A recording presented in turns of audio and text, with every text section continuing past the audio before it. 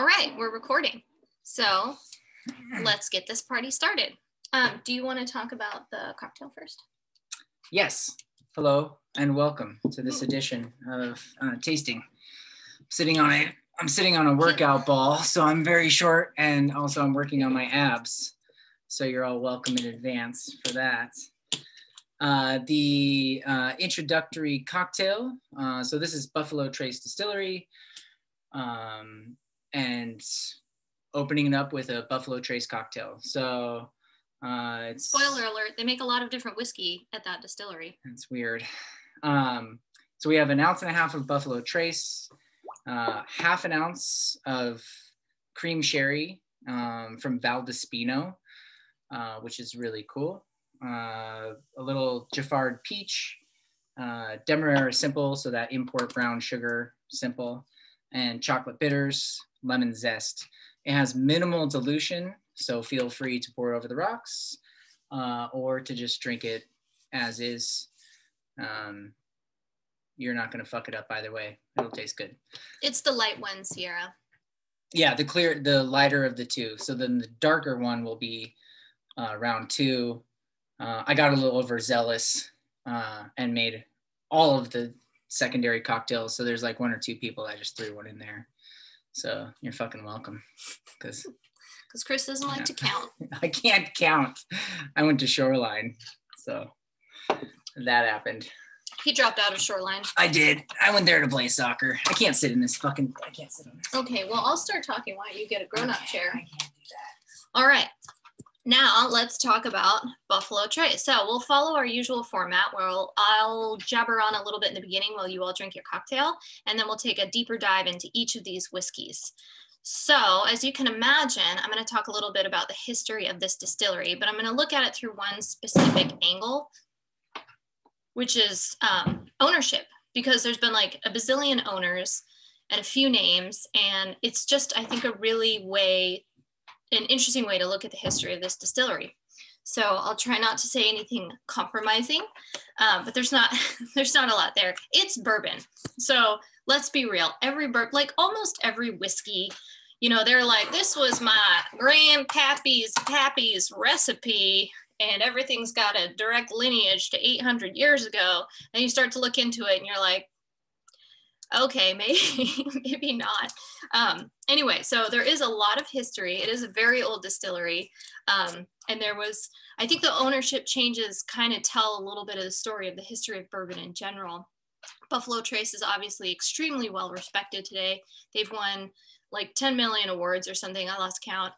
And uh, they make some really cool shit that is hard to find and expensive um, and just really cool. And so we're going to try some of that today. Um, some of this i looked up some of these bottles on the secondary market by the way and it's like stupid. I think yeah thousands and thousands of dollars for one of these bottles that you are about to try. So get excited because the cost is much lower than that but the value is extreme. Um, okay so who owns buffalo trace? Well the short answer is a company called sazerac but if you dig a little deeper i've got two pages worth of story to tell you about that um, so the website has this awesome timeline of events, uh, which gives you a nice overview. And I read it and I was like, this is helpful. There's also like many, many, many decades missing from this timeline. Most notoriously is like the 50s to the 80s, which is just kind of a shit time for bourbon in general. So I'll get more into that later. Um, but yeah, here's so here's my best shot. Also, you can't really taste these whiskeys without hearing some of the history because they're all named after some guy, like some dead white guy in the distillery's history. So, not a lot of women yet, but I'm sure they're working on that. Um, Someday. Someday. So, in the late 18th century, uh, there was a town called Leestown that was established. And some guy built some sort of a structure there. Some other people started distilling there. But to tell you the truth, like everybody distilled back then, it's just what you did.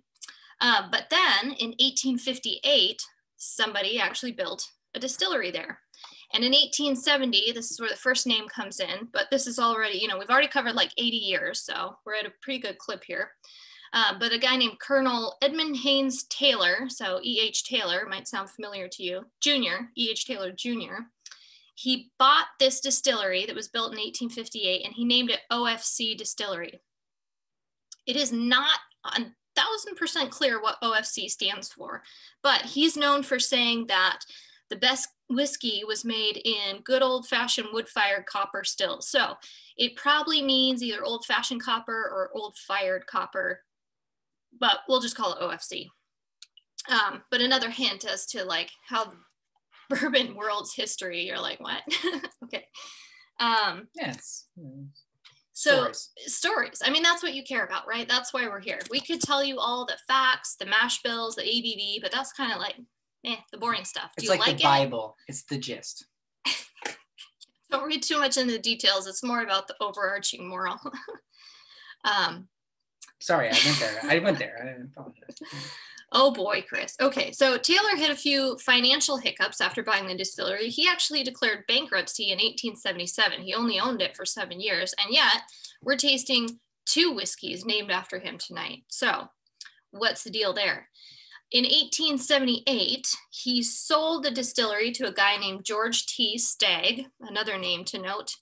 Uh, but he managed the distillery operations for a long time he didn't actually break off until 1886. Um, so, like 16 years after he first took over. Um, the distillery had recently acquired another distillery called J. Swigert, um, and he just sort of took that with him when he left, but he was out. Um, George T. Stagg was in. So by the early 1890s, um, Stagg had sold a portion of the company. And this is kind of some of the stuff you won't find on the Buffalo Trace website like maybe because they don't care maybe because they don't want to like tell you about how stagg actually sold a majority of the company to just a new york businessman. Uh, but the guy the uh, business tycoon's name was walter b. Duffy.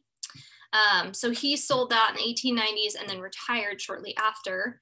Uh, and then in 1904 they actually changed the name of the distillery to the george t. Stagg distillery to honor him.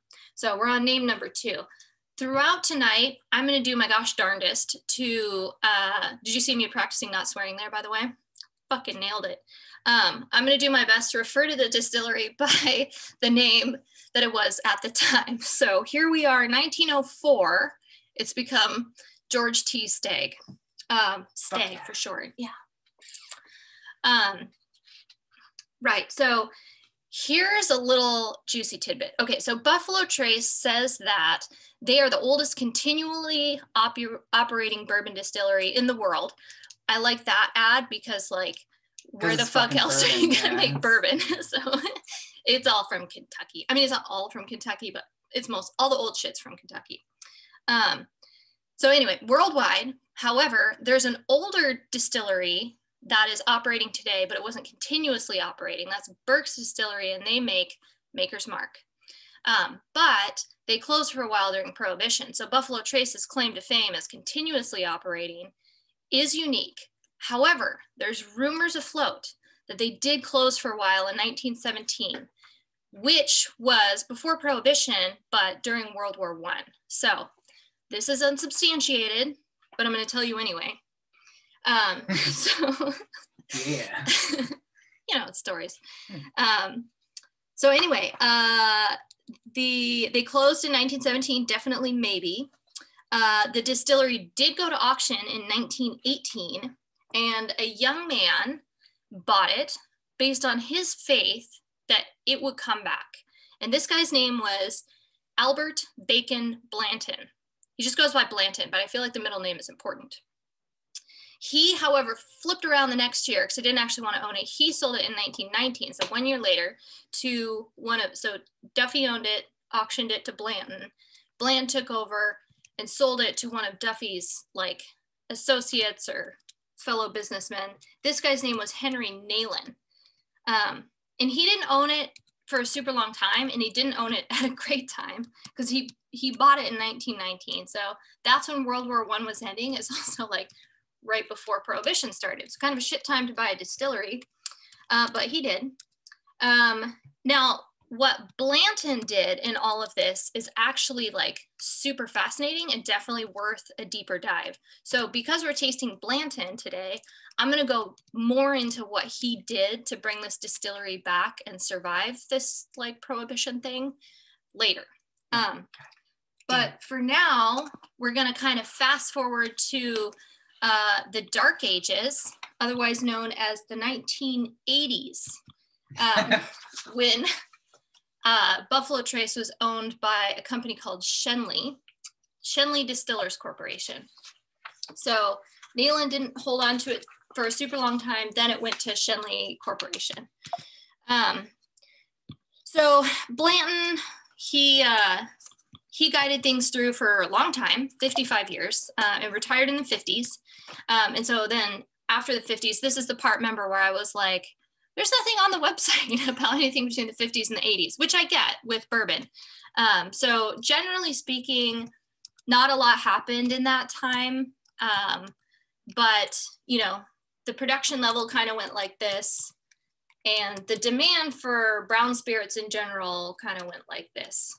Um, in the 80s, uh, some of you might recall, everybody was like vodka in the clubs, drinking vodka with mixers that came off a soda gun. It was a very dark time for cocktails, for whiskey, for a lot of other things. Kris and I both came out of the 80s, though. That was a nice one. Yeah, we're kick ass, but. um, but it was actually, things weren't going super well for bourbon in the decades leading up to the 80s. But by the time the early 80s came around, it was starting to look kind of bad. So, one of the byproducts that you saw from this um, was that some of the distiller independently owned distilleries were losing ownership to larger holding companies. And buffalo trace is no exception to that. Um, we start to see some of these really big companies not necessarily coming out of this time but like rapidly expanding at this time.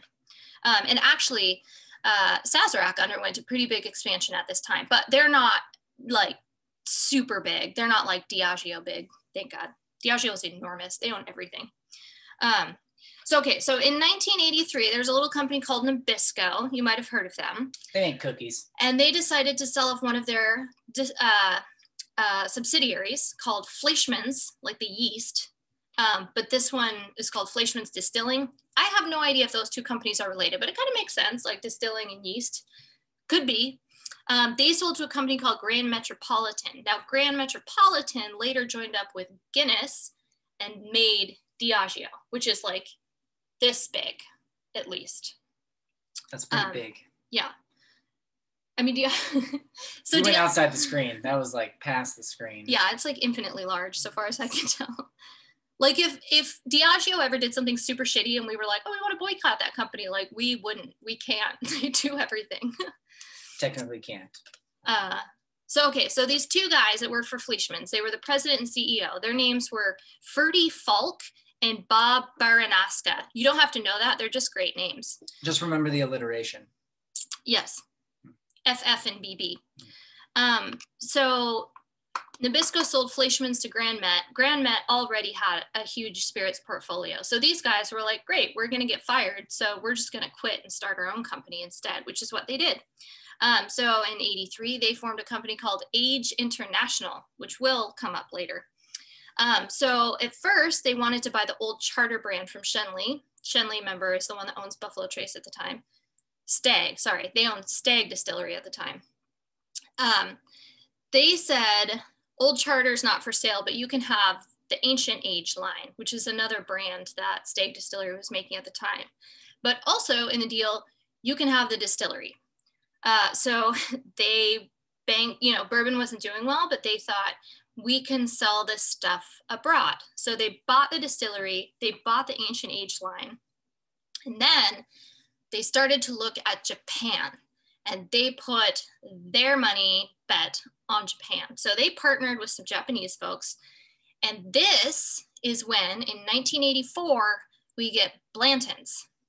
Not much to do with Blanton himself, just named after him. Um, so Blanton came out of the 80s, and it was in large part to be sold in Japan. So to this day, there are unique versions of Blanton's sold in Japan. Um, they also came up with a few other successful brands at the time. So they, they started doing some cool stuff. So they came out with Elmer T. Lee at the time.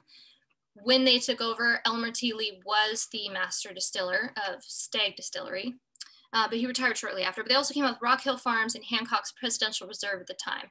We're not tasting those ones tonight. We tasted Elmer T. Lee in our last bourbon tasting, uh, but we we don't have any more. So um, anyway, so in 1987, United Distillers, which became Guinness, which became Diageo, bought Schenley. Um, so you can see how this like ownership stuff, you're like, this, I don't know. I think it's interesting. Um, maybe it's complicated, but it's, interesting. it's complicated, but that's why we give you alcohol. So you'll think it's interesting too. Um, so in 1989, this like bigger company was like, we're giving up on American whiskey. Like, I get it. It was a bad time. Um, so they really started to divest a lot. Um, so by 1991, Age International was not doing well financially. Um, they, the distillery at its heyday had a thousand employees, and by 1991 they had 50. So that's not good.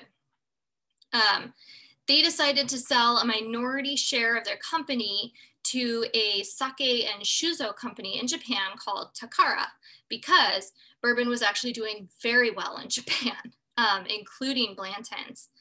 So uh, this company was called Takara Shuzo. Takara retained first right of refusal in the sale of any more stocks. So Age International, by selling minority, kind of like linked themselves with this company. They tried to sell in 1992 to a company called Houblon or whatever, doesn't really matter. Um, and then Takara stepped in and said, no, we'll take it.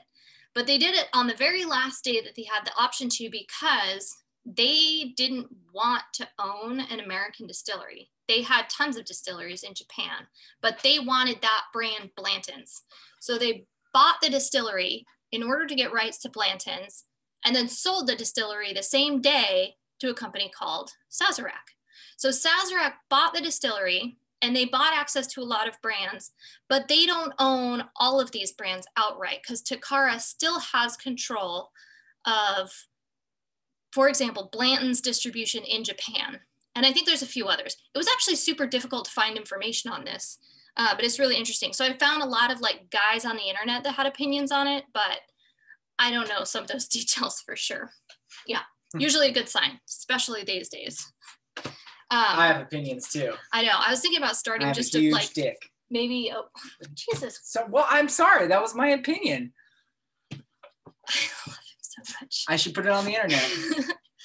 um, I just did. no, that's right. We're recording. Okay, continue. Sorry. I'm distracting. Yeah, I lost my spot. Give me a second here. Maybe I'll just start like a website spreading um, whiskey conspiracy conspiracy theories. That could be fun.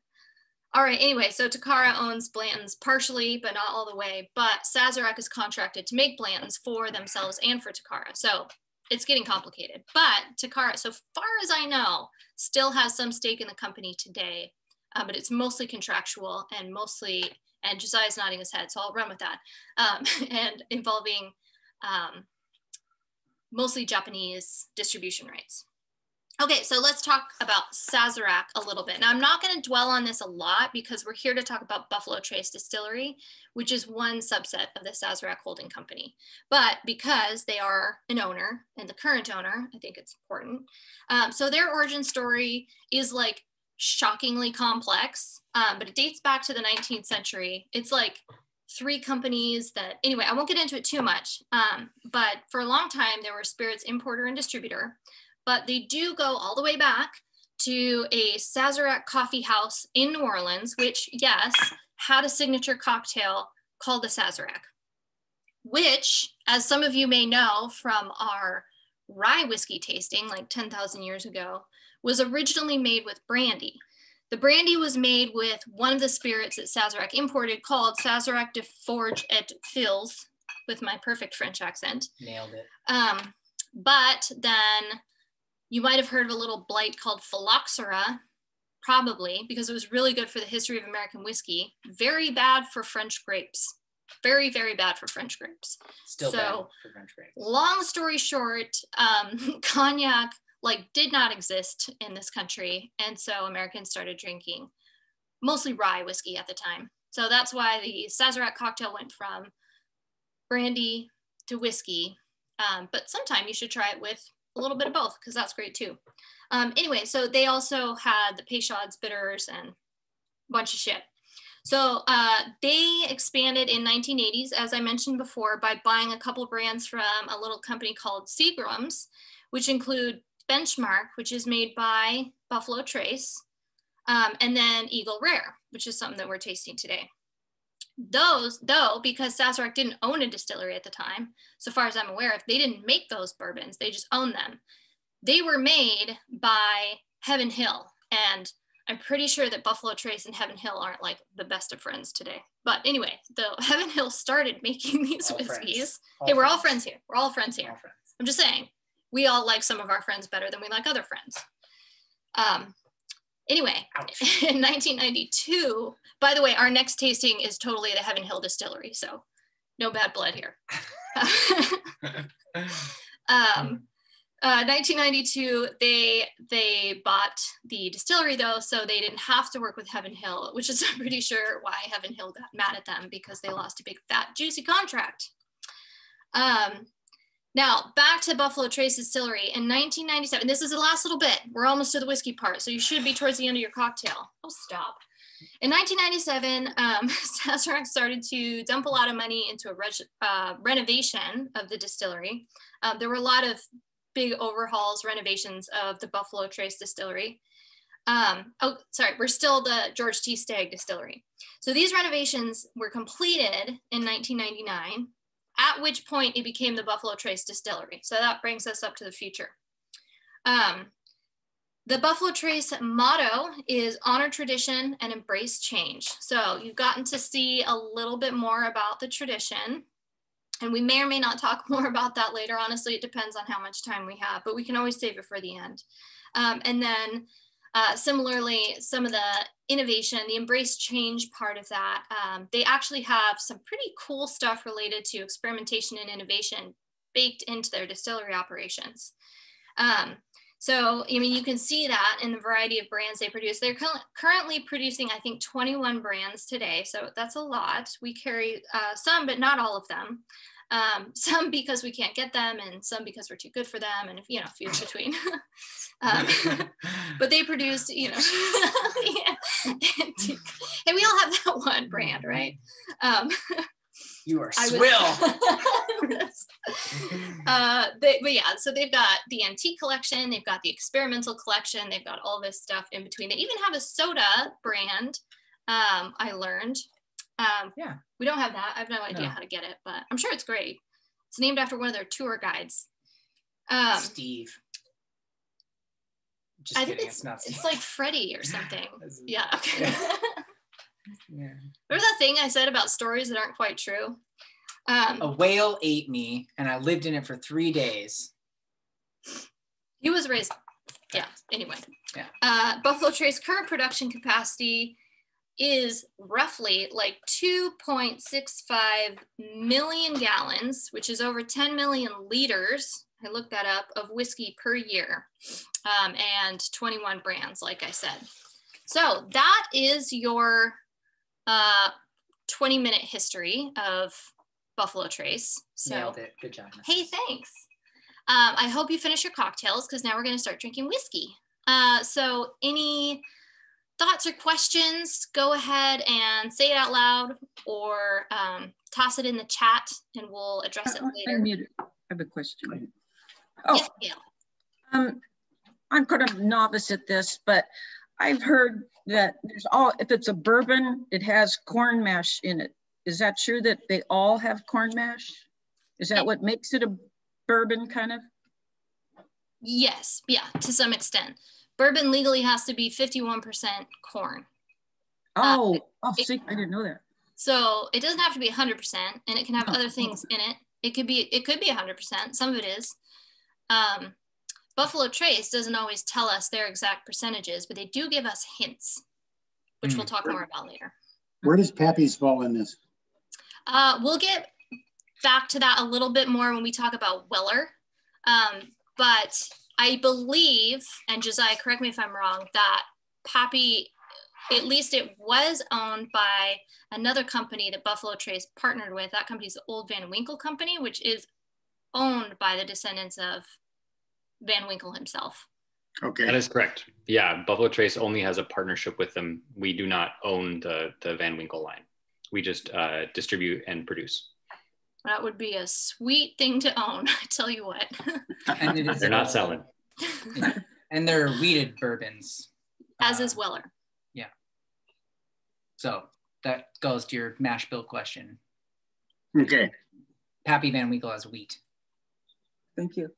All right, let's taste. Let's taste some whiskey because that's what we came here to do. Because it's whiskey tasting time. All right, so first up, Eagle Rare, uh, and the kind of standard lineup that we have, as usual, is tasting notes first. Uh, it's just nice to hear adjectives and kind of uh, things to help you kind of pull out flavors. Um, sometimes we have really interesting ones, which is always fucking lovely, um, but you can't always, you know, sometimes they're all kind of the same. So, uh, Eagle Rare, here's the bottle. Probably a pretty super fucking awesome shot of that, I'm sure.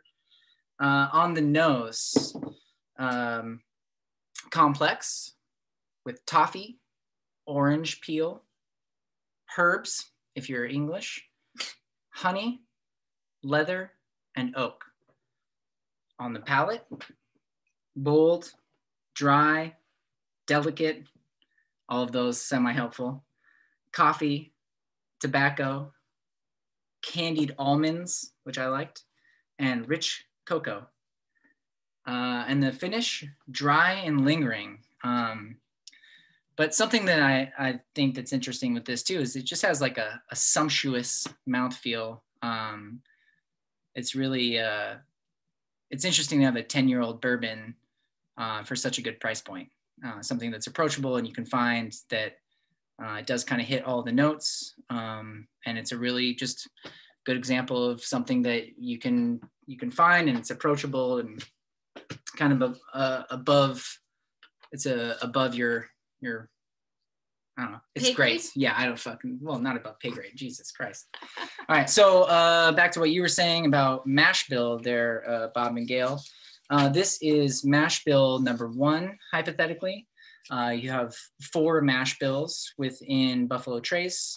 Uh, they are bourbons, right? So it's going to be 51% corn. Um, but mash bill number one is low rye. Uh, and that means that they can throw in any amount of rye um, uh, or any other grain that they want to for the distillation, as long as it's 51% corn. So that makes it bourbon. Um, but so this could be, since it's a low rye mash bill, it could be a higher percentage of corn, a little bit of rye, a little bit of something else, however, undisclosed. Uh, you also have mash bill number two, which is a which is not this. This is mash bill one. Mash bill two is going to be a high rye uh, bourbon, um, and also undisclosed as far as I can tell. Uh, and then you get into wheated bourbons, um, which is also great. Um, for 10 year bourbon, um, I, if you look at most bourbons you can find on the market, um, they're going to be, you know, kind of, I guess, four to 10. But for a for a four year, uh, you're going to pay uh, kind of sometimes the same amount, uh, which is weird to me. You know, it's interesting that Eagle Rare can produce a a 10 year bourbon uh, for such a good price point, and it really is an approachable thing. Um, that being said, uh, as the world grasps onto bourbon nowadays, uh, and it really is like really grasping onto it, it's insane. Um, even Eagle Rare is getting harder to find, which is like there's pluses and minuses to that. Uh, you have production times. Uh, so if this is a 10 year bourbon, uh, if you uh, did you say earlier how many barrels they produced? Did you make that note, or is that later? In Of the- Eagle Rare or Buffalo just Trace in general. They, no, they It's can later. produce like it's 10 million liters or what was that? They 10 can produce 10 million liters, but I don't know if they do. Yeah. And and so you have it's like when we talked about scotch before, all these other things, like you have your local market and then you have your like kind of local market and then you have your world market. And so to you and me, like I think a barrel, if I'm gonna buy a barrel of whiskey, I think that's a lot of fucking whiskey. that's like 50 fucking gallons. I would die to drink that in a year. I mean, that's like a fucking that's an insane amount of alcohol. Um, but they're producing 10 million liters is 13 and a half million 750 milliliter bottles. And so that number is unfathomable. I don't know what that looks like. I can't just be like, yeah, that's 13 million right there. That's the number. I can't do that. And yet that's all divided up in their brands. So how much goes to Eagle Rare? How much goes to Buffalo Trace? How much goes to all these other brands that they produce? And with all these people like enjoying bourbon and kind of getting into it and then exploring it and then searching for these bottles, how much does that leave uh, for everybody? You know, uh, so a 10 year bourbon, I think that this is an easy grab. Uh, you see it, you can buy it, you can be happy with it. Um, it is a uh, hypothetically a single barrel um, bourbon, but they don't put that on the label because they're producing so much of it that they're not like keeping track of that necessarily. Uh, so also expect each bottle to be a little bit different, um, which is kind of exciting. It's like when we talked about, Bruichladdich, um, or even I have we have friends that really like Hennessy, for example, cognac, and something like Hennessy. They don't. They're just producing so much uh, that a bottle of one bottle of Hennessy can be absolutely fucking amazing, and another one can be absolute dog shit, and you don't know what you're in for, but you're kind of buying on that like, like I know I trust this brand, right? So you can trust Eagle Rare, but one bottle could be just like fucking mind blowing, right? That that single barrel could mess with your head because you'll be like, that's the best ever. I bought it for forty dollars and it's fucking amazing. Um, while uh, the the brand came where was created was birthed uh, in 1975 uh, and it was a com- uh, competitor for wild turkey and it was released at 101 proof um, that's interesting because wild turkey sucks uh, and so they clearly won.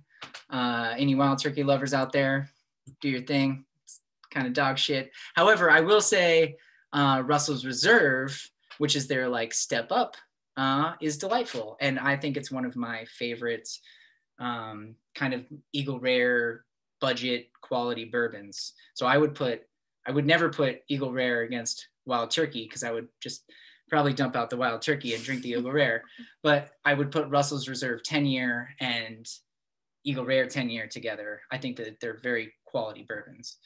Um, they no longer release it at 101. However, Eagle Rare 17, which is part of the antique collection, which is these like special releases that they do every year. Um, within each of their like releases, they do like a special release. And so Eagle Rare has a 17, uh, and that has been released at 101 proof uh, as a homage to the past recently. Um, and they also have Double Eagle. Best of luck. I don't even know if that's in the fucking states. Uh, and if it is, I don't fucking have it, nor will I have it. Um, I won't even get fucking Eagle Rare 17. So uh, those so are if you ever need to get Chris like a really nice birthday present, Yeah. it might cost you like 10 grand Or on the secondary market or more. 20. Yeah. I'll accept gladly. Nothing says I love Yeah. you like a bottle of double eagle. Yeah. Woo. Um yes, yeah. Uh and then if you're looking at if if you start to get into bourbon, which You so already are. Yeah, you already are. You're already here. Uh, there's a website called breakingbourbon.com. Uh, just type it in, take a look at it, or write it down. Uh, I actually use it all the time because they have like tasting notes and they have all these interesting things, um, which is kind of a good read. But if you're just ever wondering, like, when a release is coming, these guys are doing the research to find it. So I, you know, sometimes I don't even get the fucking information from people like my reps, they don't fucking know. And I'll go to breakingbourbon.com and they'll be like, September is the release for this, that, and the other. And so I'm like, hey, motherfucker, I'm looking for this thing. And they're like, oh, yeah, you're right. That's released right now. And I'm like, thank God I asked. so if you're ever looking for like release dates of something because you want to become a bourbon hunter and just cruise the fucking total wines and the small liquor stores of the world, uh, that will be a guide for you to find those kind of things. It's kind of Um, worth looking at some of those sites because, I, like you've probably all heard that sometimes you can find a bottle of Pappy Van Winkle at Costco, which is true, or at least it used to be before COVID. Still true. Um, but yeah, well, I don't know if they're going to Total Wine anymore, but um, anyway, uh, they'll tell you like, cause that you know you got to show up that day early in the morning, know what you're looking for, and that website will tell you like, look for this thing on this day, and well, you not might this find it. day. Well, okay, you get what I'm saying. This month, possibly, maybe. This day plus or minus Yeah. like ten days. know that it was it shall be released on this month. Anyways, that's Eagle Rare. Do you want to um, Oh. look at Mark or Cheryl's question? Uh, how does bourbon get its flavor? Is it like wine where different temperature impacts grape growing tastes? Same with corn. Um, so I think that predominantly uh, bourbon is getting its flavor from time. Um, there is something to be said for distillation, and I absolutely agree that some distillers are far better than, better than others. You cannot dispute that, um, but it's not the same as vinification. So when you're making wine, like pulling it at the right time, uh, just the whole step, all of it. Uh, vinification is, I would argue, maybe more intricate. Um, I'm not a wine person, um, but I will say vinification is fucking difficult, uh, and your competition is heavy. Distilling something, you you do have to care about where the grain comes from. Is it organic? Is it not organic? Uh, who who made it? Under what conditions? That all matters for sure. Um, but in general, as a general rule, uh, you're just looking at quality of barrel and time, um, and terroir. Uh, so you would be saying something like the South, where it's like really hot sometimes, and then it gets cold. Um, you get a lot of action on the wood, which is a very funny reference for me always. Um, but It's you one just of Chris's favorite terms. it's an innuendo endlessly. Uh, but so you you just get these these uh, nice flavors, um, but there's actual like chemical reactions that are happening over time.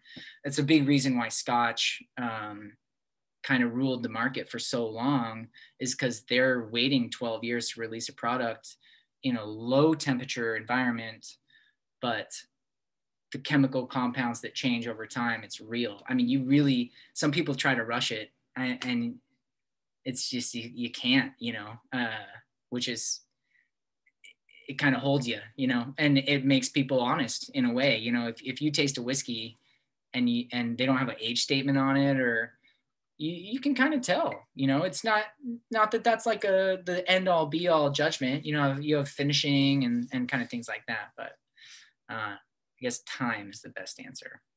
Time and like ingredients. I mean, one thing we learned with Bruichladdich is their the extent to which they value terroir in a way that other Scotch producers don't. So they have um, like farm to bottle barley. So you can look up what harvest your barley came from and taste differences among the different farms, the different locations of farms, and the way that the barley was handled. Um, so I believe Buffalo Trace, well, so they recently started farming their own corn. Um, and I believe they they use non-GMO. Is that right, Josiah? So they, I mean, by upping their corn game, that I think could very well have a significant impact on flavor. and it, it also plays into the mash bill uh, recipes, which they don't share because that matters too. So um, you could do 100% corn, and you have all these percentages in between. That will matter on your end product. Okay. Mash bills. All right, next whiskey before we talk too long on Eagle I know it's already 7:45 and we've tasted one of five. Fucking failing. um, yeah, yeah. Ricardo is definitely bopping along over there. Carlos jamming out. He's making a mixtape. Um, okay, so Blanton's, or if you're from Renton, you pronounce it Blanton's. Uh, I'll Oh, start was a with it. Redmond, Renton dig. Sorry if you're from Renton. They totally say that though. That's hilarious. Um, You're right. I work in Renton. Yeah, you mean Renton? it's Renton. Um, uh, okay, so And they say mountain. mountain. Yeah, you can see the mountain from Renton sometimes when you're drinking your Blanton. Uh, okay, no, so fresh citrus. No hate. No hate for South Tasting Seattle. notes. Tasting notes. fresh citrus, orange peel, nutmeg, clove, spicy caramel, vanilla, and toffee. Remember, you don't have to smell all of these or taste all of these, but the more adjectives we throw your way, the better odds something will stick. So just write down the ones that stick with you, and that'll be what stays in your brain. Also, that's how you can learn to identify new flavors.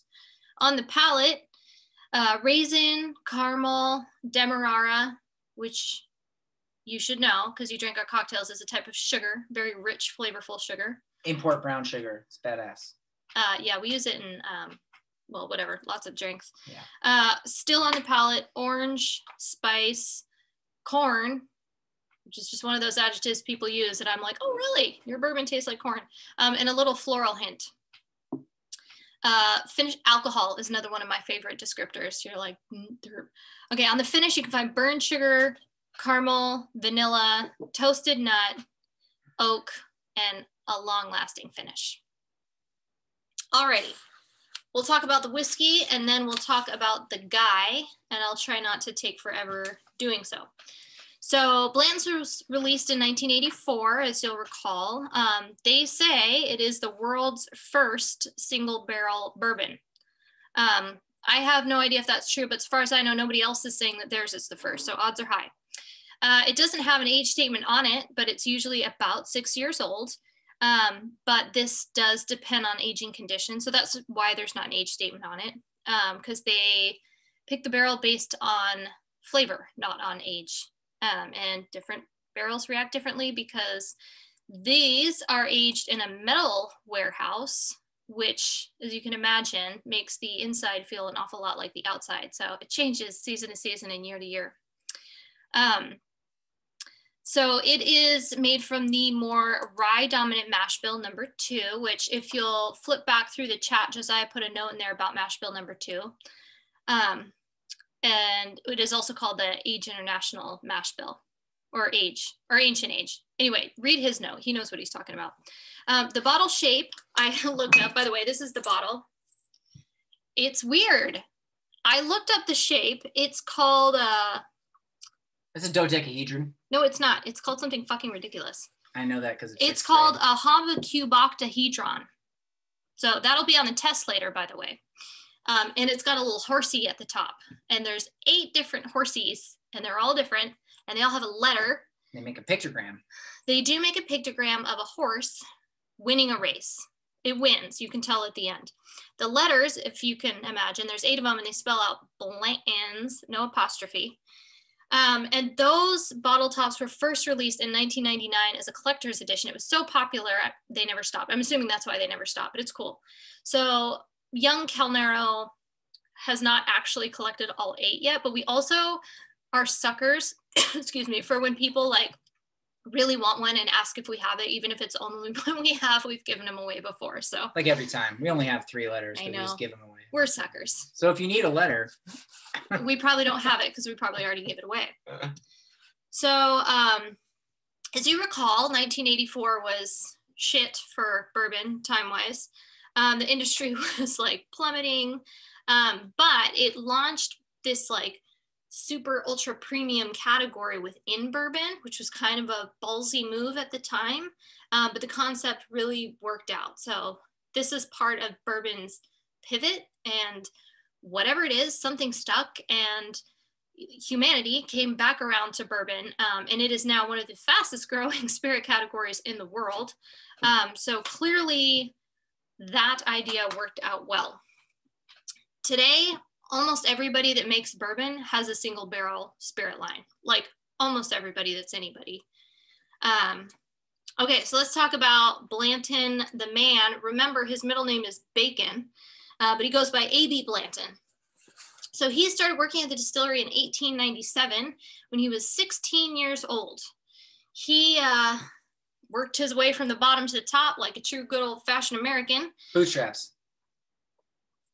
Uh, so he went from office clerk to president, and he was president during a few genuine shitstorms. So, uh, as you'll recall, in 1917, the distillery maybe ceased operations briefly and then sold to um, from Duffy to Blanton to Nayland. Um, and then, so that all happened like 1917, 18, 19, and then he became president in 1921.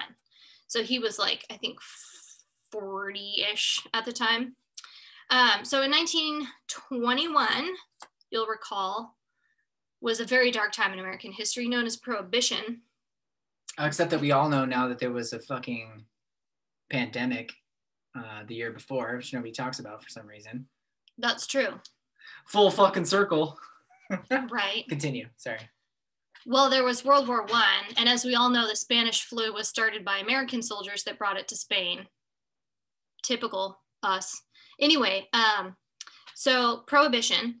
Uh, so as you can imagine, U.S. government basically shut down distillation, but because of Grandpa's medicine, they literally allowed some distilleries to continue storing and selling. So you had to get a special permit, and these were very rare permits to be able to store securely your whiskey and sell. Otherwise, they literally made you dump it out. And then later, when those stocks started to disappear, there was another permit available that allowed you to produce whiskey for medicinal purposes, of course. Um, so Blanton got both of those permits. By the time Prohibition ended, there were four distilleries that were allowed to produce whiskey. So that was a very important thing to do. There were slightly more permits that allowed you to store and sell the whiskey, which means that um, Stagg Distillery at the time was allowed to produce whiskey for other distilleries as well. So that was enough to help them survive prohibition. Though it wasn't pretty. Um, they survived, but they really scaled back and the place kind of started to fall into decay. They repurposed a lot of the buildings at the distillery so for example, a lot of the warehouses became office buildings or they used them to store other stuff for other people um, because the whiskey wasn't keeping it in business. So uh, the owner at the time, that guy Nayland, he like 1929, I think is when they were allowed to start producing again. He wasn't really interested or able to invest what was needed to bring the distillery back to production and like expansion. Um, so Blanton was like, well, then you have to sell it. So he helped orchestrate the sale to Schenley Corporation. Um, so they bought it.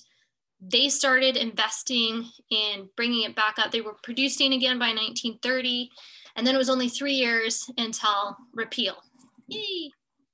Um, but then you had the Great Depression. Ooh.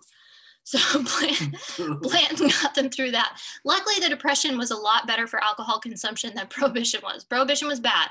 People drank during the Depression because what the fuck else are you gonna do? Um, Here's my there last was- dollar. they do it every time. Um, there was a flood in 1937 and the f- just like totally engulfed the distillery. It crested at 17 feet high, so you can imagine the damage that would do. It was the river that flooded. Um, and Blanton had the distillery operating again within 24 hours of that flood, which is crazy. I don't know what the fuck he did. The furnaces drive away the water. He had everybody blowing on the water really hard. Brought in a bunch of raccoons to drink. I don't know what he did, but he had it working again really fast. Camels. Um, and here's an interesting tidbit because after that, there was World War II. So the poor guy just can't catch a break. But they had to stop making whiskey in World War II, but they were still operating because they were making alcohol for the war effort. So that sounds kind of familiar, doesn't it? um, anyway, it just fucks up like stocks later down the line because you can't put anything in barrel. So while he was going through shitstorm after shitstorm after shitstorm, Blanton managed to expand the Stagg distillery from 44 to 144 buildings. And this was in part through help from Schenley's investment. Um, so they had this like massive expansion that he oversaw because, I mean, prohibition was ending. They saw it coming and then it happened. And so they were like, people are thirsty. And they were right. So they just ramped the fuck up. Remember, I said only four distilleries were producing by the time prohibition ended. So if you were smart and you had money, you threw it at your distillery, which is precisely what they did. And it worked out well for them. Um, so this made Stagg the largest distillery of its time. I don't know if that's in the world or in the US, but it was huge. Um, he in this time built a lot of warehouses, but one of them was Warehouse H, which was his favorite. That's the metal one. Um, so you got these like massive temperature fluctuations because metal, you know, conducts heat faster than pretty much anything else. Um, and Copper. Uh, so when he had special guests or dignitaries or what have you visiting, he was known for his habit of going to Warehouse H and picking out what he called a honey barrel. So, like a really nice barrel, maybe from his favorite spot within the warehouse. Um, and he'd pull out that barrel and have a bottle directly from the barrel, um, which was kind of an old fashioned way of doing it because blending was where you could get some of those really magical complex flavors. So, he was just doing this single barrel thing. Um, and then when Elmer T. Lee was master distiller and was tasked with coming up with this like super ultra premium bourbon, he decided to, first of all, name it after Blanton, who's notorious for not hiring Lee and then giving in later and hiring him. Um, but he was Lee's mentor. And uh, he wanted to name the bourbon after Blanton and also style it in the practice of how he liked to drink it. Um, thus, we got the single barrel. And that's Blanton's for you. All right. Bam. Blanton's. Were you keeping an eye over here? Dodecahedrons. Rhombicuba. Yeah. It's a, I mean, that shape is, I don't know why it's shaped that way. Josiah, do you know why the bottle is that rhombicuba Because it's cool.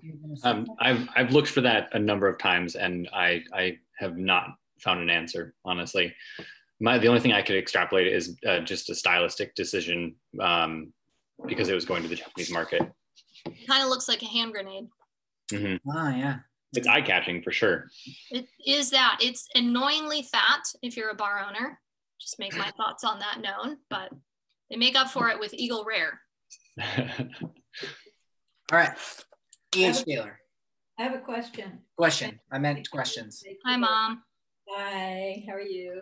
So medicinal purposes only. Um, in anticipation of something in the future, what kind of diagnosis should I be looking for to get the medicinal purpose uh, prescription? Cholera. Depression, probably. Sour disposition. Hmm. Uh, gout, maybe at the time, Gout's good. Gout will get you it. which is a little ironic. Nerves. Mom, I think you should really aim for a diagnosis of nerves. Oh, yeah. Back pain. Can't prove it. Mm, I told you to just go for crotchety old person. So that. yeah, definitely helps with that. It's a prophylactic measure. We give it to you to protect us. There you go. There's like 10 ideas for you. Write that down. Uh, and Brian and Mara say tuberculosis also. So that one they can test for though. But you need whiskey in order to test for it. All right. E.H. Taylor. We're moving on. And so usually I would take this whiskey and then Kali would take the next whiskey and then I would take the last whiskey. However, what we are tasting tonight is E.H. Taylor, the small batch, uh, and then E.H. Taylor, the barrel proof. Um, so I'm just going to take both of them at the same time. We're shaking things up. Woo, get ready. That was a, that what she said, Joe. Uh, Okay. Anyways, uh, so uh, let's start with tasting notes. Um, on the nose, butterscotch, caramel, vanilla, baked multigrain bread, licorice, dried raisins, cherries, brown sugar, and alcohol. Perfect.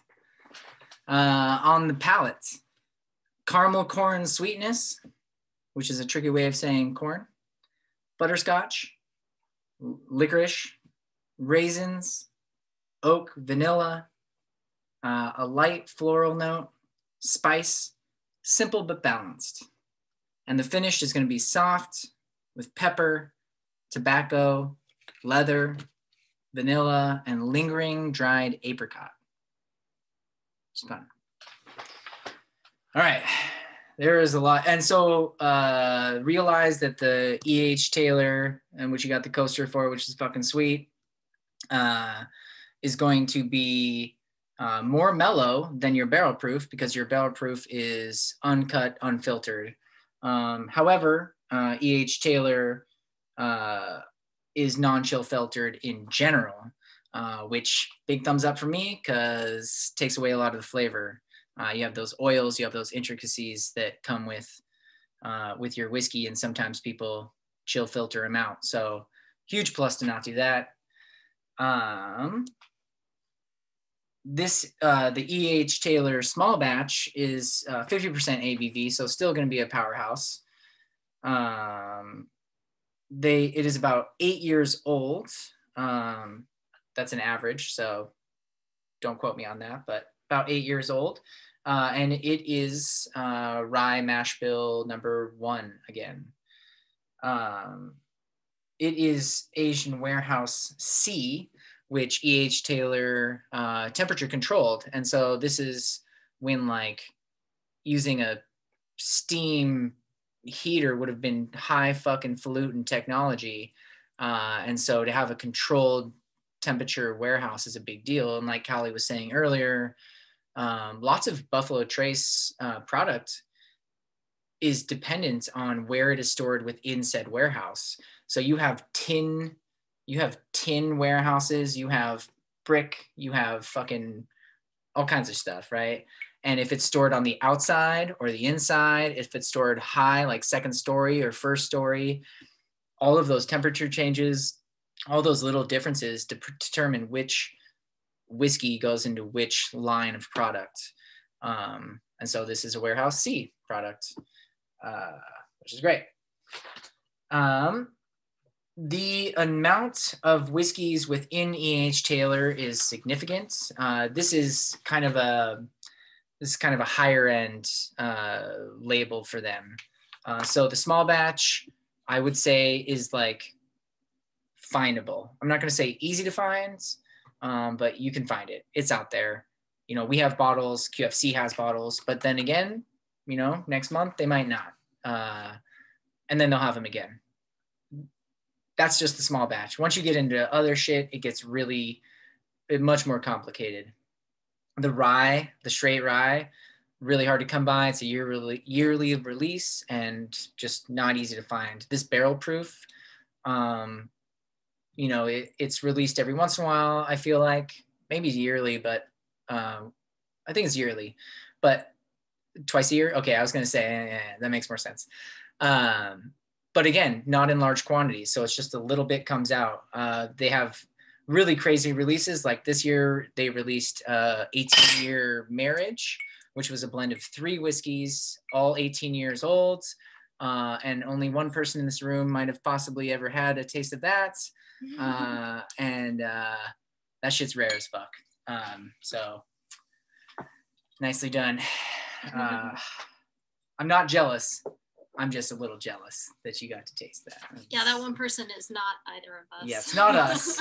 um, and you know, we got an amaranth in the house, um, we, and we sold through it. Um, but it was beautiful. And amaranth is a type of grain, and they did a special distillation for that. Uh, and so this is Buffalo Trace's kind of like experimental, um, really thoughtful kind of line. Um, so if you ever see an E.H. Taylor on the shelf, uh, it's it's an easy go-to. Uh, moving into your barrel proof, now compare them. Uh, tasting notes are pretty similar. Um, on the nose, cooked berries, rich caramel, slightly floral. Again, you're gonna get that. It's it's more it's higher, right? It's like uh, what is this? 129.3 proof, so 64% alcohol by volume. That's a that's a tongue scorcher. Um, it's gonna be on the palate bold, spicy, toasted vanilla, dried oak, pepper, uh, and then the finish is long and powerful rye, lingering fruits. Um, some people uh, come in, and now that we're like a miniature liquor store, people ask all the time, like, "Hey, can I get a bottle of this? Can I get a bottle of that?" The answer is fuck no. Uh, and the reason is because there's allocations. And so the way allocations work is, say, little old us that opened up a tiny little liquor store, uh, and then we're a bar. We move through X amount of whatever bottles of Buffalo Trace or whatever have you, and then they say, all right, you're X amount high on sales. You have earned these bottles. Here's your bottle.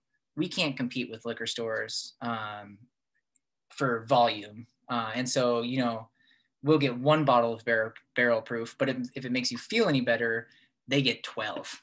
And they probably sold fucking not 12 times more than us. They probably sold 50 times more than us of this specific brand. Um, so if you ever want a bottle, here's a couple things of advice. First of all, don't get into bourbon. It's my first advice. Uh, second advice is shop at the same place all the time. Uh, third advice is make friends with the people that you shop at all the time, uh, especially like little liquor stores, um, which shall not be smaller than 10,000 square feet. We don't count as a small liquor store. I cannot get you those bottles. Sorry. Uh, you could go uh, bourbon hunting, which is where you just go around willy nilly and just stop into random fucking liquor stores and try to find shit. Kind of works sometimes, actually. Uh, or you can just go to Kentucky. Also, not a guarantee, but those are all good options. Um, E.H. Taylor uh, was a very, I'm going to try to rush through this a little bit, but um, you have a the Bottled in Bond Act, uh, which is why E.H. Taylor, the small batch, is it a 100 proof? Bottled in Bond is this big action where people were making whiskey and they were getting taxed on it before they sold it, and then they had to sit on it for X amount of years. That is a huge burden on the people producing spirits. You, you have to front all this money, not only the money for like labor and product, but just taxation. I mean, you get taxed on something you're not selling for fucking four years. And so E.H. Taylor was a, a big part of big part of that. Um, and so just really on top of it, uh, helping the bourbon industry be able to make it through all that tax- taxation problems. Uh, sour mash. Uh, sour mash um, is something that is kind of misconstrued. It's very interesting stuff. Um, and like 97% of distilleries do it. However, E.H. Taylor was kind of early in the game on like kind of trying to make that more consistent. Sour mash is you make a mash. So say it's 51% corn, so it's bourbon, 49% rye, probably not realistic, but let's just use that as an example. Uh, you distill that and then you take the spent mash that all the liquid has gone from, and you take some percentage of that mash, whether it be 3% or 30%, you put that into the new mash, you pour it in and you stir it in.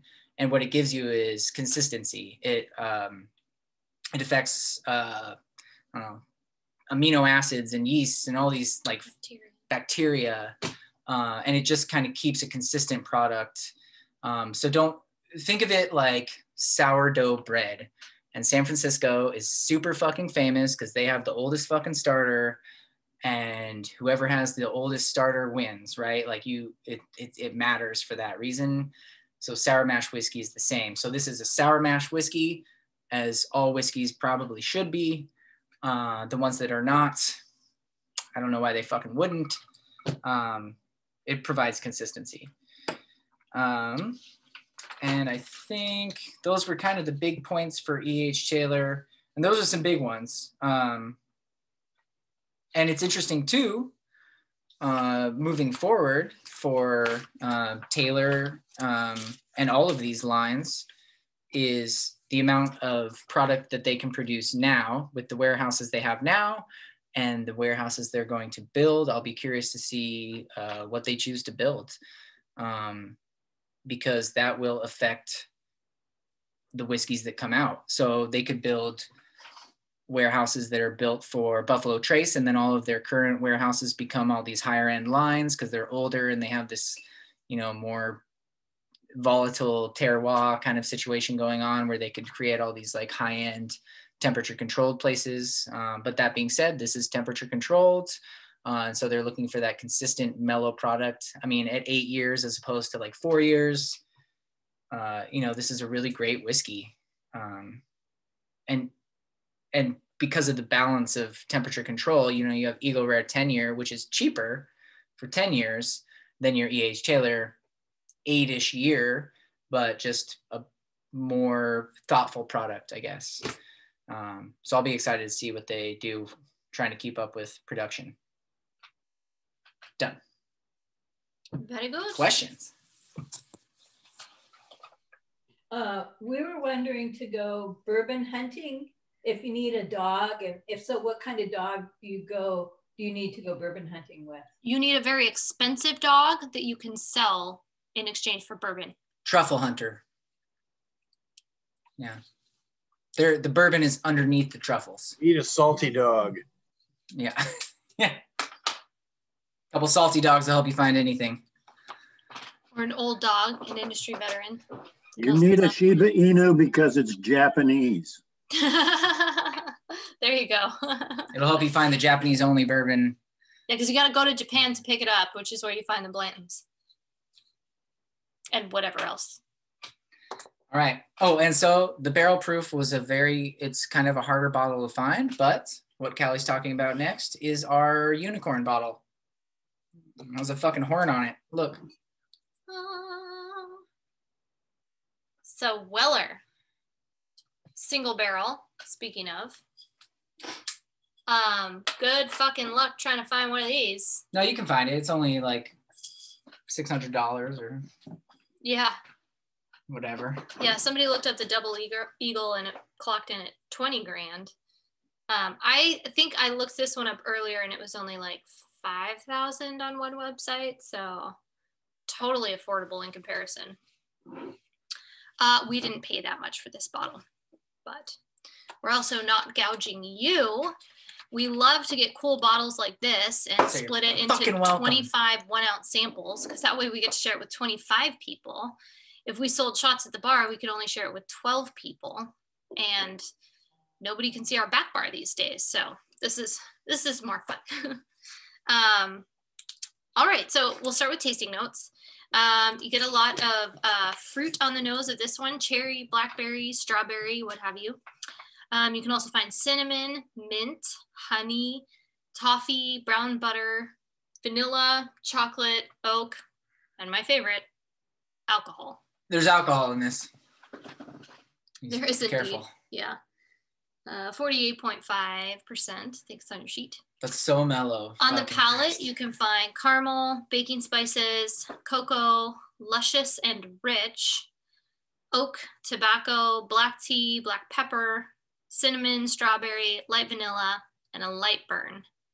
So it might come across as hot in the beginning, but honestly, the longer it sits in the glass, the more that alcohol burn chills out. Uh, the finish cinnamon, coffee, black pepper, smoky sweet, oak, and a pleasant tingle.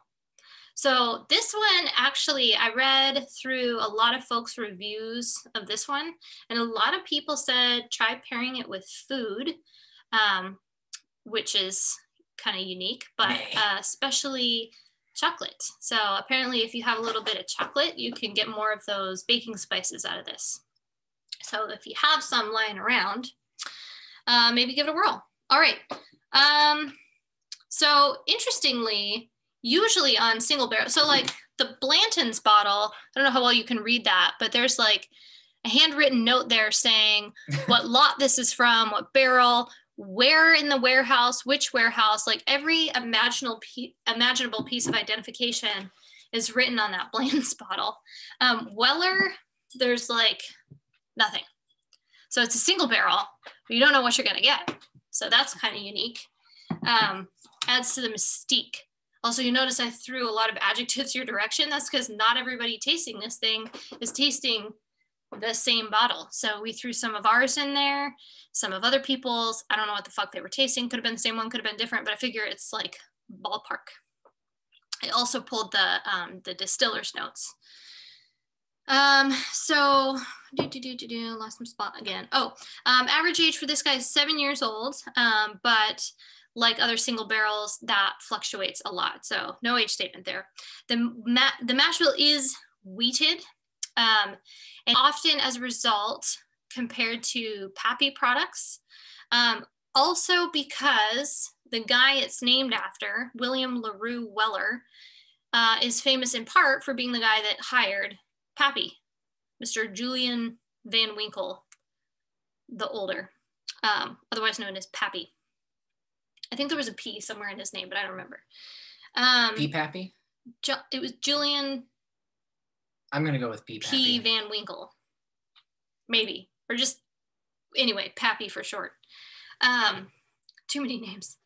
So uh, Weller was known for his wheated mash bills, or his family was. So he came from. So the Larue and the Weller are both distilling families. So William Larue Weller, Larue was his mom's side of family. Weller was his dad's side, and they they're both like generations old distillers. So they had this like family recipe where they basically took out some of the rye from a normal bourbon mash bill and put in wheat, which was kind of unique at the time. So Weller and Pappy are made with a more wheated mash bill. So it's kind of this soft, gentle flavor, very pleasant, obviously. Fucking everybody wants a bottle. Wheated bourbons are the ridiculous. best. So good. Um, so Weller himself, though, wasn't really a distiller. He was a merchant, and so he kind of he like told other people the whiskey that he wanted them to make for him, which had this wheated mash bill, but he didn't make it, um, so far as I can tell. Uh, so uh, he hired uh, Van Winkle in 1893 as a salesman. So Van Winkle worked for Weller, selling Weller's stuff.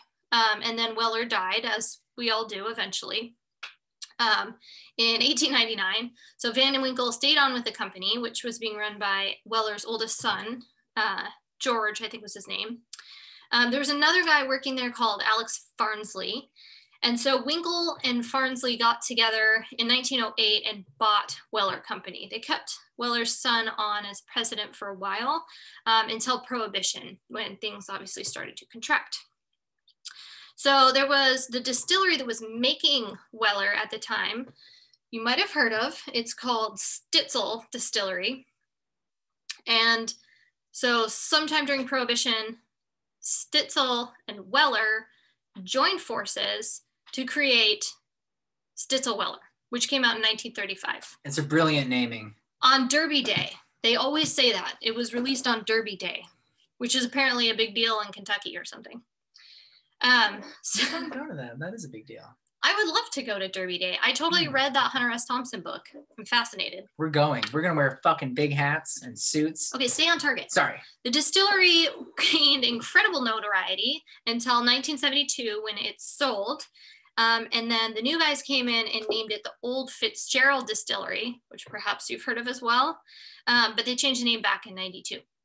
Um, so it uh, the distillery itself is currently owned by Bulleit, which is owned by Diageo. Um, and they use it as like a tourist attraction and for storage. They don't really make anything there. I think they do like a couple like teeny experimental things, but it's not really a distillery anymore, but it's still around. However, um, as a condition of the sale, Van Winkle's son, whose name is also Julian Van Winkle um, Jr., he built into the sale of the distillery access to their old stock and rights to the Van Winkle brand. So that's how the Van Winkles still own the Van Winkles, but they partner with Buffalo Trace to make it happen. Okay, that's it. So now, Kris, you can go off on tangents. Tangents. All right. I have the tangent. I didn't actually have one ready. All right, I'm going to read through the chat then, unless anyone had any questions. You just called me out hard. I didn't have one ready. You were already interrupting me. What were you going to say? Hey, Kris, I have a question. Yes. The question is, I have a bottle of Weller Special Reserve. Yes. Nice bottle. Yes. Yes, it was a gift from a friend. Can I get more? From us, no. In general, yes, you absolutely can. And also, I don't think any of us should be getting into necessarily the whiskey future game. So you might read about it in magazines. It's like the whiskey futures is a real investment. And that was an article probably written by some bourbon hunter to convince his family that it's okay that he buys so much bourbon.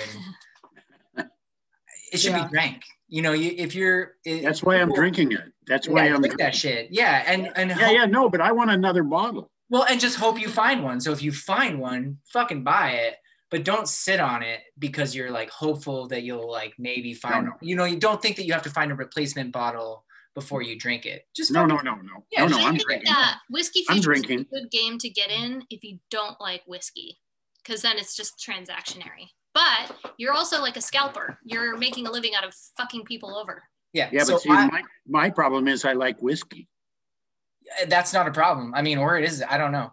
But so I wanted to buy a bottle of the Macallan Winchester, which is a $50,000 bottle of Macallan. And I was like, listen, we'll just buy it, we'll store it, we'll just put it downstairs, and in 20 years we'll sell it. And Callie, because she's smarter than I am, said, well, you'll want to drink it. And I was like, fuck, we need to buy two. it's only a hundred thousand dollars. We're good. It's fine. We'll buy two. We'll drink one. And then I put you on a house someday. Yeah, and so we didn't buy it. Um, yeah. So we've been getting a lot of requests for the Kelnero Travel Agency. Um, we'll totally add Derby Day to the list because I would love it. I do have a giant hat actually. We No, it's on our, no, that's on our bucket list. That's It's- on our bucket list. Yeah. And we're old and we're going. you have to fucking go, and I will save you from Here's the my Derby Day disappointment. We Alrighty. we tried. We bought this hat. I dressed up in a suit, and we went to Emerald Downs because we're like, it's fucking Derby Day. And we walk in there all confident, and then when we get there, we're like, "Wow, nobody's dressed up. This is weird." And we walked up to the bar, and we are like, "We'll take two mint juleps." And the lady's like, "The fuck is a mint julep?" we, were, we were like, "Where the fuck are we? This isn't fucking Derby You know where we were? You were on the reservation. collar we Derby were in Day. Renton. Yeah. Kris, Jesus Christ! Don't do No, that. you were in You're an Auburn. asshole. Definite difference. I will buy your seersucker suit for Derby oh, Day Oh, because God. Oh hell yes! gentleman has to So be in terrible. All right, folks. So we're going to transition now. So here's the part where we. And if you want to sign off, don't be offended because our presentation.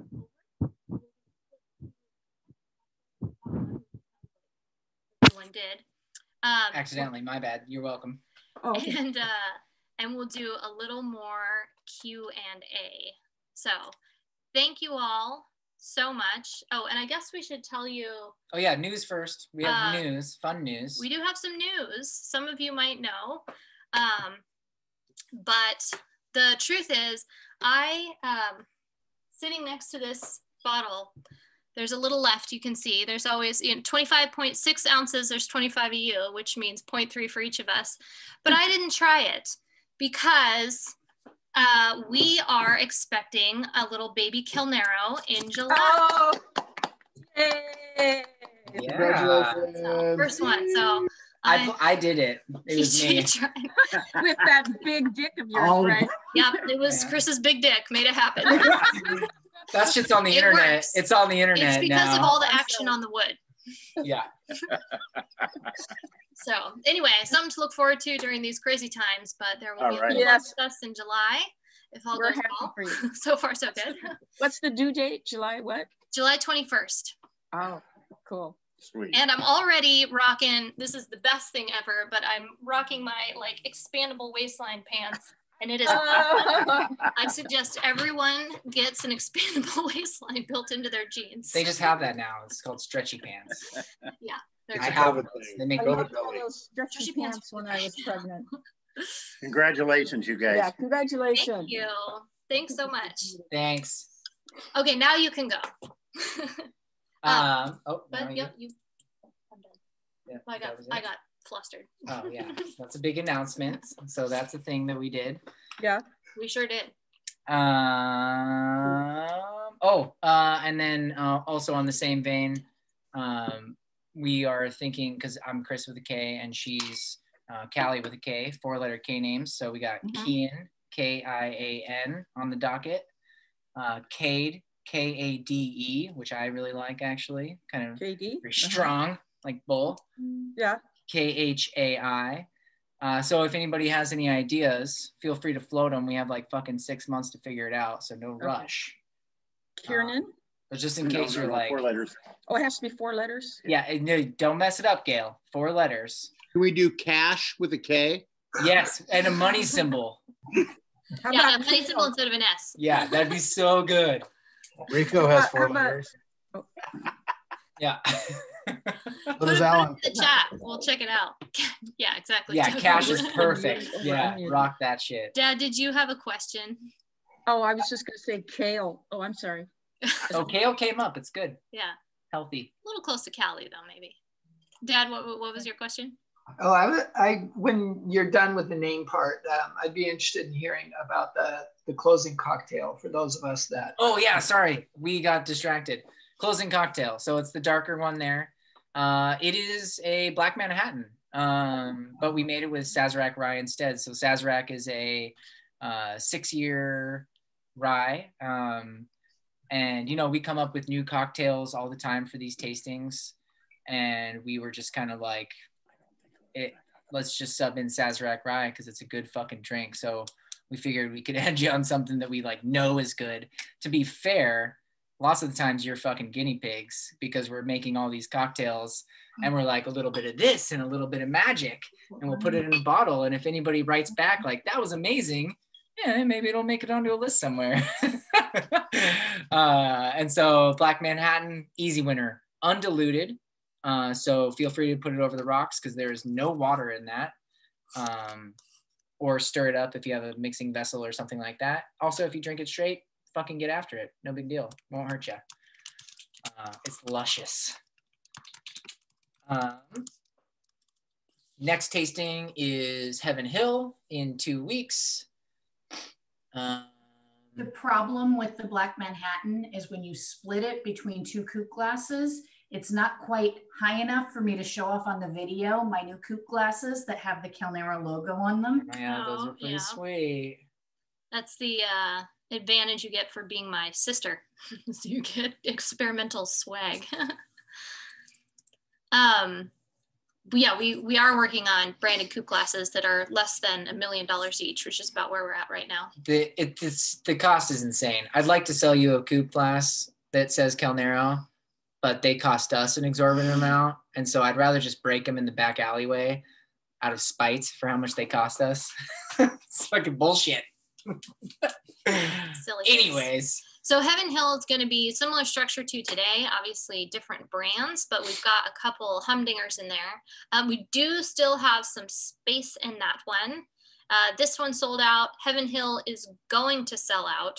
Um, so if you're interested, sign up now. You got two weeks. Kelnero Toast Tab. Toasttab.com slash Kelnero. Yeah, you type it in, it'll work. It yeah, it's out there. Um, it's Google. yeah, next week we're taking off. His brother's getting married. Um, thanks, Alan. That's the link. Um, and then we don't actually have any scheduled for February yet, but uh, we do have our birthday. So Kelnero is turning two on the 13th. And It's a terrible twos, everyone.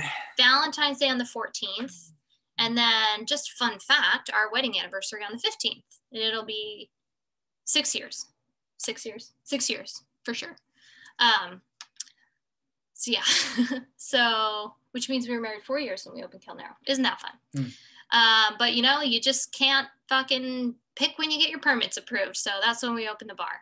Anyway, my point is we're going to have some awesome specials leading up to that weekend. So two weeks of specials. What we're going to do is a countdown It's fun. of all, Sorry, I was just getting excited. Jesus Christ, such a. We're gonna do a countdown of Kelnero's best-selling cocktails over the past two years. So the 12th most popular will release on February 1st, and whatever the cocktail that day will be just $10. Um, so a pretty screaming deal. Um, so you know that some of those favorites like Black Rose, Black Walnut Manhattan, those are going to be popping up towards the end. And then on the actual birthday, I'm back. Timeout was we're over. gonna have all of them available for $10. So it's gonna be a party, except we can't have parties yet. So you can get it to go as well um, for the whole thing. Um, so great time to stock up on some of your Kelnero favorites, or at least other people's Kelnero favorites, because there's only 12 days before the the 12 13th. days of Kelnero and Yeah. I had some drink. Basically Christmas. Anyway, so we're gonna do that for the first two weeks, and then we might try to squeeze in one more tasting in February. Um, and we're not sure what it's gonna be, but then there will be lots more tastings after that. We'll keep doing this.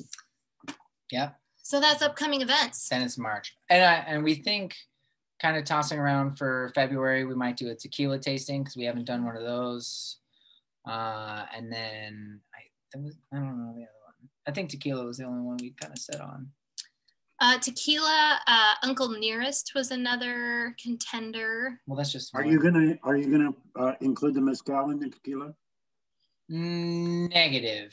So we did a mezcal, and then tequila we would keep uh, Separate? just tequila. Yeah. Okay, all right.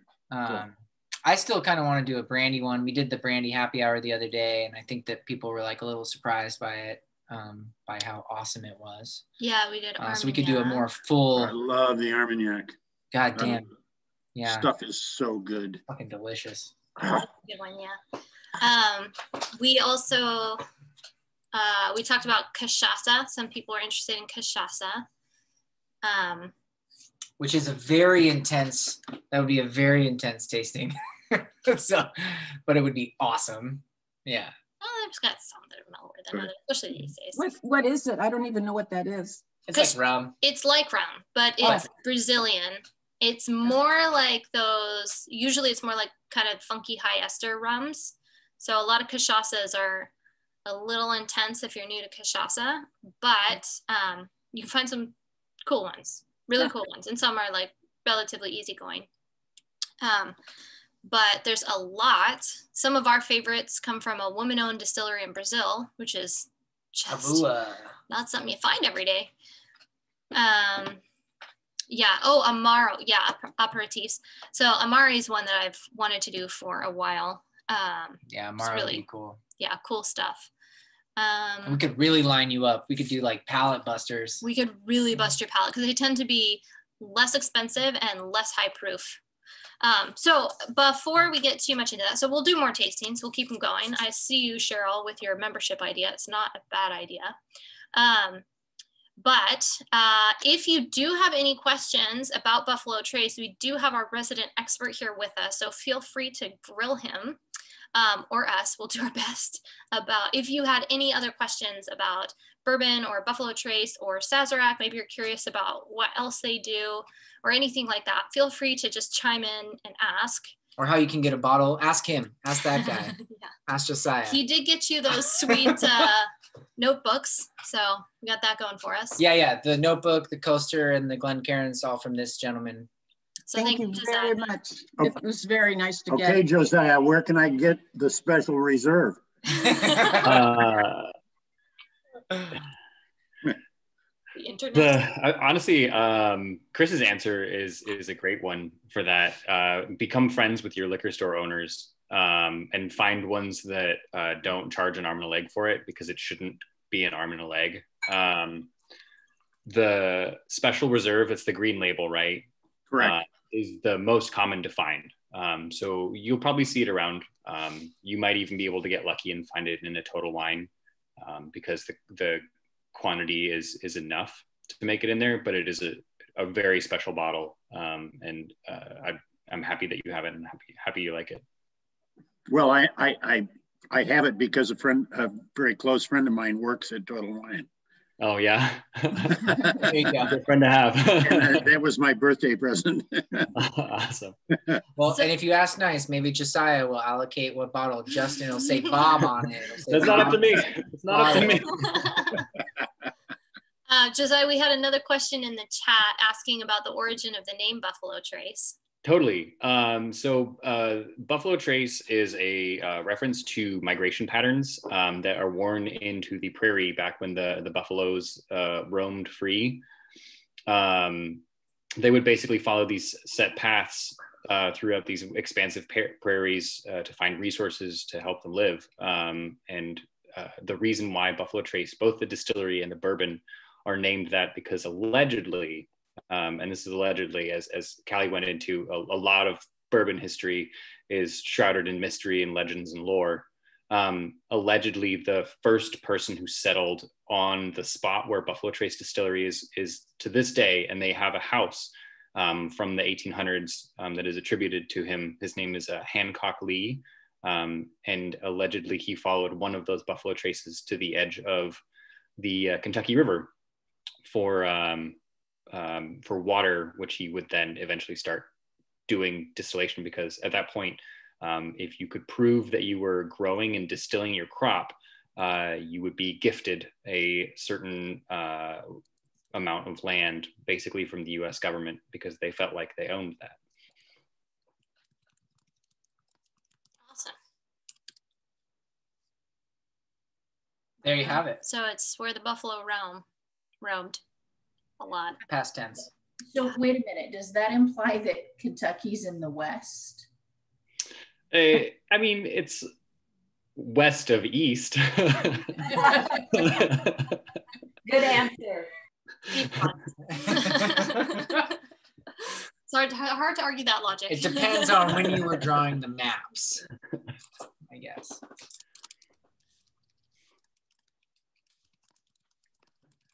Any other questions? Any other? Uh, or inappropriate yeah. dick jokes. Always appropriate time for oh, that. Easy time on the dick jokes. Gosh. Hey, you guys remember that one time that Chris just typed boobs into the chat and none of us understood the context? Yeah, you were there.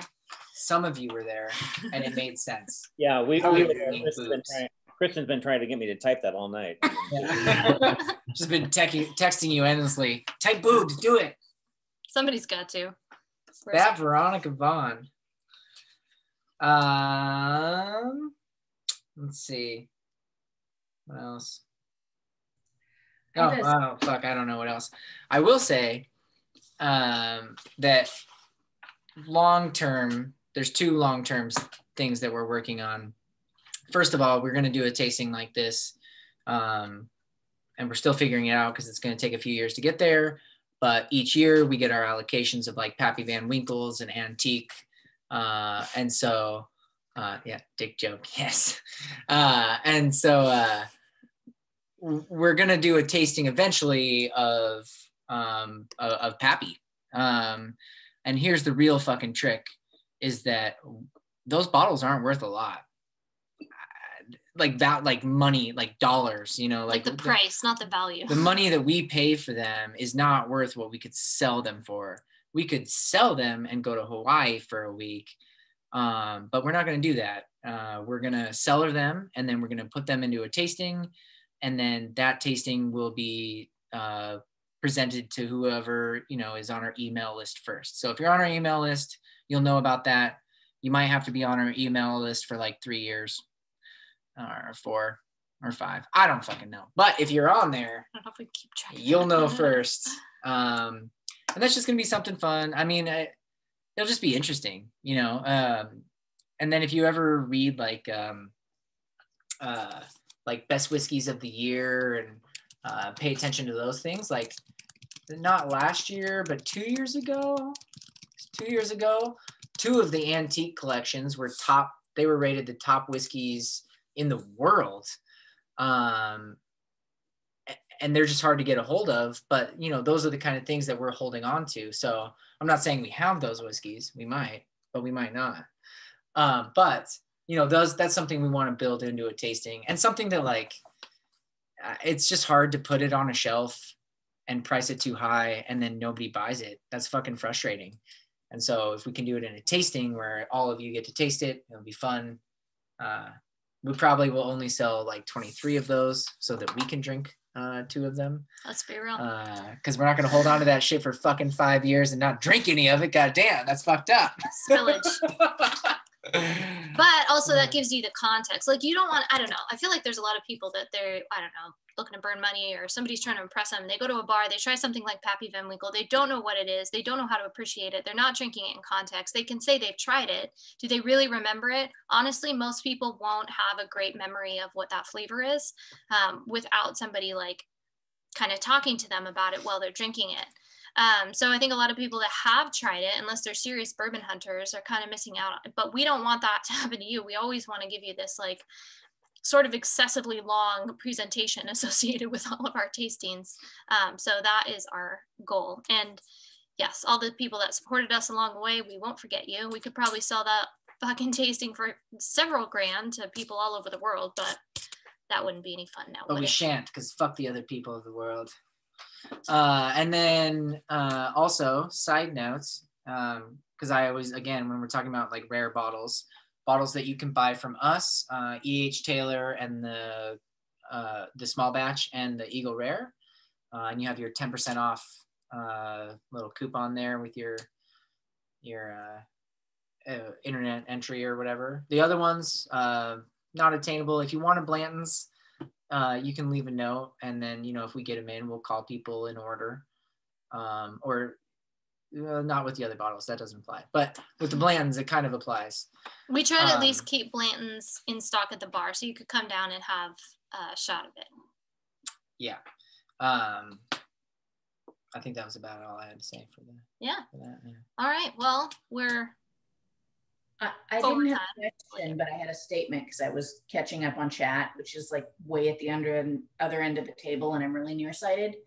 Um, Josiah, if there is another unicorn that you have not tasted, I'm Kali's older sister. Hi, I'm Violet. If I've paid for the tasting, I will split it with you so you can taste the unicorn. That's a deal. That's that's very generous. I really appreciate that. Uh, weirdly enough, I think Weller Single Barrel might be the only whiskey from the Buffalo Trace line that I have not tasted at this point. wow. Uh, that's not including like some of the like uh, like old school EH Taylors that no one has anywhere. But anything that they currently produce, I think I've I think at this point I can say that I've tasted all of them. But that's I really appreciate that. That's that's that's a very generous gesture. Um, but keep them for yourself. Essentially, he said he doesn't have any unicorn barrels or bottles for us. He also said that if you want to find that unicorn barrel and taste it, you just need to go work for the company that makes it. yeah. Reasonable. that was it was a it was a driving factor for the job. Well, we have the single barrel. We have that much left, but I'm gonna go put it on that shelf back there, which is my shit that I couldn't taste because I'm fucking pregnant and I'm saving it for July. And that's where this is going. right next to that uh, the Octomores. And she, while she's wasted drinking whiskey, she waited a year to drink. I'm gonna have one of those like boob things that I put on like Yeah. a backpack, and I'm gonna take and care of the baby Pump and dump. for a day. Mommy's sleeping. It's gonna be good. It's gonna be an awesome August, friends. Yeah. Alrighty. Well, any other questions before we all sign off tonight? No, congratulations, guys. On your Thank It's a you so wonderful, much. wonderful, wonderful time. You're Yes. gonna love it. You're gonna absolutely love it. Thanks. That's good to hear. I have swimmers. Swimmers in a big cock. Like the amount of grimaces on the screen right there was amazing. It was like it was like grimace, grimace, grimace, grimace, grimace. Five people just signed up. I Thank you all so much for joining. it's a pleasure sharing our hockey news with people like you that are here for us. You show up for us. You support us. Uh, we love you. Um, yeah. Thank you so much. Okay. Good night, guys. Cheers. Good night. Bye. Thanks, y'all. Thank you.